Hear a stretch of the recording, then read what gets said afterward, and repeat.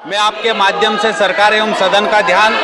देश के एक महत्वपूर्ण विषय की ओर आकर्षित करना चाहता हूँ। माननीय सभापति महोदय देश भर में बोरवेल और ट्यूबवेल के खुले गड्ढों में गिरने से न जाने कितनी ही मासूम जिंदगियाँ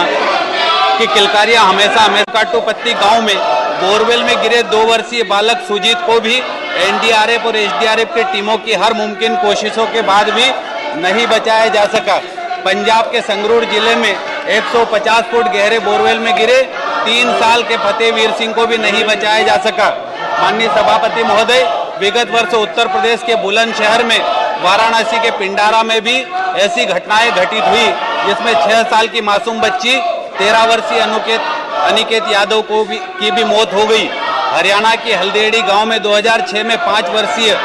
प्रिंस के 50 फुट गहरे बोरवेल के गड्ढे में गिरने के बाद न्यूज़ टीवी चैनलों ने रेस्क्यू ऑपरेशन के दृश्य लाइव दिखाए थे, जिससे पूरी दुनिया का ध्यान इस प्रकार के हादसों की ओर गया था, जिससे यह भी उम्मीद जगी थी कि भविष्य में ऐसे हादसे सामने नहीं आएँगे, परंतु आज भी स्थिति ज्यों की त्यों बनी हुई है।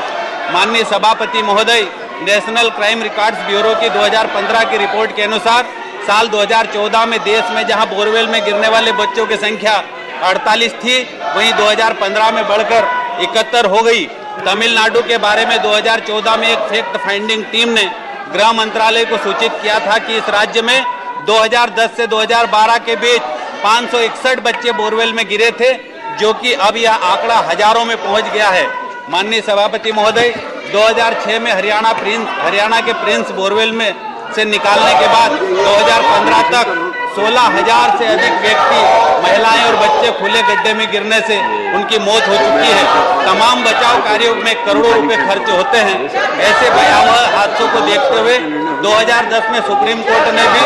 बोरवेल के रखरखाव संबंधी निर्देश जारी किए थे। माननीय सभापति महोदय, सवाल यह भी है कि,